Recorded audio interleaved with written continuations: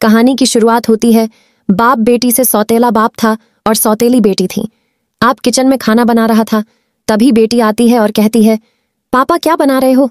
तब आप कहता है, बैगन का भरता बना रहा हूँ तो मैं खाना है।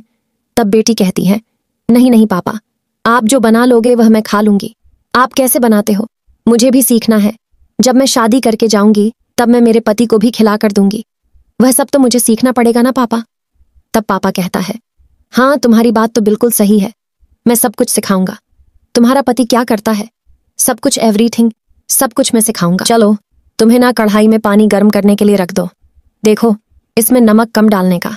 इसमें पनीर के टुकड़े भी बहुत ही दो से तीन ही डालने का। उसे ज़्यादा नहीं नहीं तो जल के राख हो जाएगा। इसके अंदर हमें डायनासोर का बच्चा डालने का, फिर उबालने का। फिर बच्चा को निकाल कर सॉरी सॉरी, मैं तो मज़ाक कर रहा था। देखो इसमें गटर का मनी मिलाने का।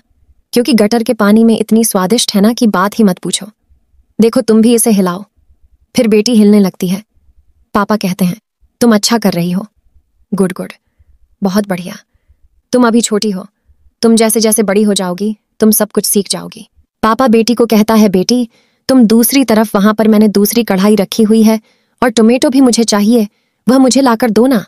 फिर उसकी बेटी दूसरी तरफ़ से कढ़ाई हो। टोमेटो लेने जाती है। तब नीचे झुकती है। तब पापा ने बेटी का वह अंग देख लिया, जिसकी वजह से उसका एनाकोंडा फड़फड़ाना लगा। फिर पापा से रहा नहीं जा रहा था। फिर बेटी को कहा, चलो, खाना बनाने से पहले मैं तुम्हें एक बताता हूँ कि सुहाग रात के दिन क्या करते हैं तो तुम मेरे पास आओ, और हम दोनों कब बड़ी खेलते हैं।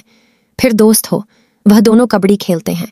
इस दुनिया में पैसे कमाना बहुत ही आसान है मेरे लिए, क्योंकि मैं कुछ नहीं करता, ऑटोमेटिक पैसे बनाता हूँ आपको भी पैसे कमाने हैं तो डिस्क्रिप्शन में लिंक में क्लिक करके जाकर 99 का कोर्स खरीद कर वीडियो देखकर पैसा कमाना स्टार्ट कर दो।